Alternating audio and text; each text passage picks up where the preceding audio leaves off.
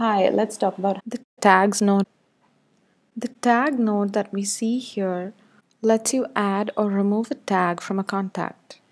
These tags can be used later when you filter your contacts.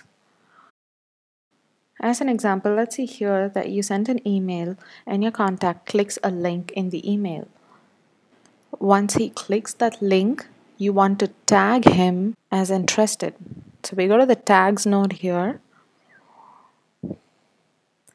and you add a tag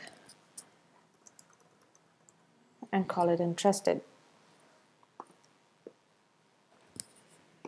And you drag it into position.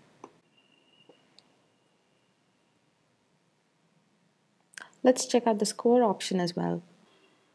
Just like the tags, the score option lets you increase or decrease your contact's lead score. So you want to add a value of 10 to your contact lead score when he clicks open a link in the email. So you add the tag and you add the score and you're done.